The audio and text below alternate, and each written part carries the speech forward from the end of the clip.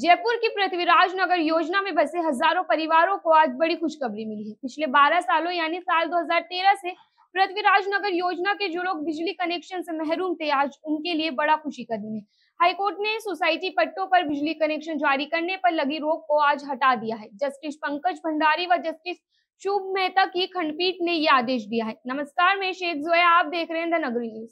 दरअसल हाईकोर्ट ने 3 नवंबर 2023 को पट्टों पर बिजली कनेक्शन देने से इनकार करते हुए याचिका खारिज की थी।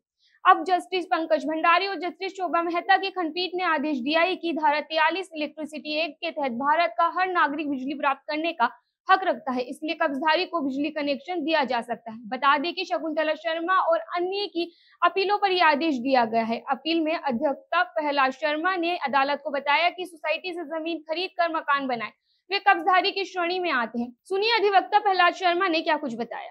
आज बहुत ही खुशी का दिन है सारे पृथ्वीराज नगर वासियों को, जो काफ़ी लंबे समय से सन 2013 से बिजली कनेक्शन से वंचित थे, उनके लिए खुशखबरी है कि माननीय उच्च न्यायालय की खंडपीठ ने माननीय न्यायाधिपति श्रीमान पंकज भंडारी साहब, माननीय न्यायाधिपति श्रीमती सुभा मेहता जी ने हमारी पृथ्वीराज नगर वासियों की अपीलों को मंजूर करते हुए ये आदेश पारित किया है। कि धारा तियालीस इलेक्ट्रिसिटी एक्ट के तहत भारत का प्रत्येक नागरिक बिजली कनेक्शन प्राप्त करने का विधिक अधिकारी है।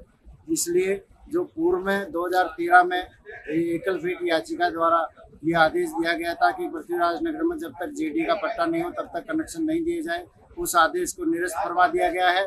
और हमारी अपीलें मंजूर करके माननीय खंडपीठ ने ये निर्देश दिया है कि पृथ्वीराज नगर में जो भी सोसाइटी पट्टाधारी हो, चाहे कब्जे से संबंधित कोई भी दस्तावेज़ हो, जो ऑक्यूपायर की श्रेणी में आता है, धारा तियालीस के तहत वो बिजली कनेक्शन प्राप्त कर सकता है। याचिकाएँ मंजूर की गई, जिसमें सर्वोच्च न्यायालय के न्यायिक दृष्टांतों का भी हवाला दिया गया और माननीय उच्च न्यायालय ने बहुत ही मतलब सराहनीय जजमेंट दिया है, जिससे सारी पृथ्वीराज नगर की जनता को न्याय मिला है। उसके लिए सबको पृथ्वीराज नगर वासियों को बधाई और माननीय न्यायालय का कोटि कोटि आभार।